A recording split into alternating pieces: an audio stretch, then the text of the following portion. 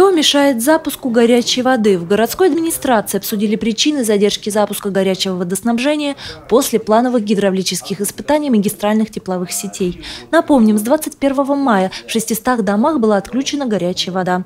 Уже 27 числа ситуацию должны были наладить. По факту этого не произошло. А, мы сейчас говорим по а, контуру ТЭЦ-2. Да? Вот я бы хотел а, уточнить, на какой стадии у нас произошел сбой по чьей вине, это вина Егортеплоэнерго или вина ПАО Т+, или это, возможно, какие-то аварийные ситуации, которые мы предусмотреть не могли. Как выяснилось, представители филиала ПАО Т+, не устроили формулировки актов о проверке, предоставленные компанией Ивгортеплоэнерго. Внезапно потребовались документы, которые не были прописаны в предварительном соглашении. На субботу эти все документы ПАО Т+, присутствовали, но, э, к сожалению, и в субботу у нас не получилось осуществить пуск горячей воды потребителям, а, потому что, по нашему мнению, пошли ну, какие-то э, запросы о проверке, еще одной проверки на плотность наших тепловых сетей. Хотя в программе, конечно, этих дополнительных проверок уже не было.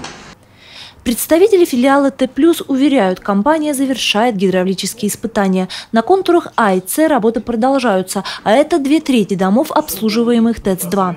Подключить готовый контур Б. Это улица Смирнова, Варенцовой, район рабочего поселка, часть центра города. Мы искали возможность контур Б, да? Да. Контур Б. Вывод Б подключить от э, контура ТЭЦ-3, э, прогреть, как, как положено по правилам, проверить на плотность, как и положено по правилам.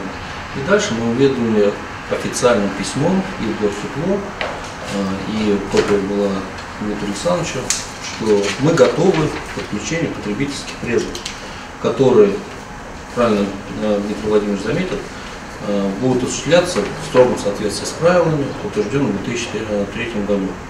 К общему выводу, кто виноват в том, что жители нескольких районов так надолго остались без горячей воды, так и не пришли. Однако теперь специалистам и в Ивгортеплоэнерго предстоит сформулировать акт проверок так, как того требует Т+. Предположительная дата запуска горячего водоснабжения – 31 мая. Мария Попова, Денис Денисов, РТВ Иванова.